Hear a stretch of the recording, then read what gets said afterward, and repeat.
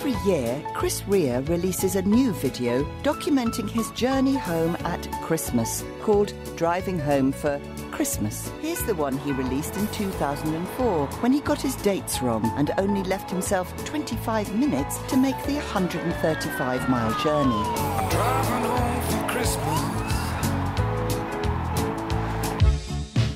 Christmas videos can be extremely dangerous, as you can see from one of the outtakes of Wham's Last Christmas. Okay, Jordan, remember for this next note, not too loud, mate. No, way too loud. Oh, Christ! Oh, Christ, run!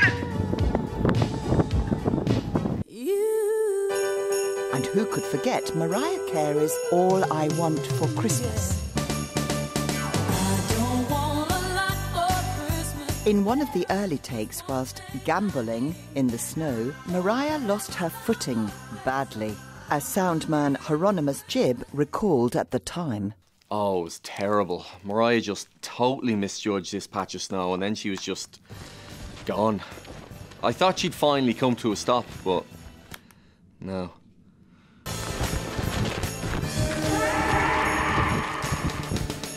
And bless her, she was still bravely trying to sing as she was falling, but uh, the audio, uh, it wasn't usable.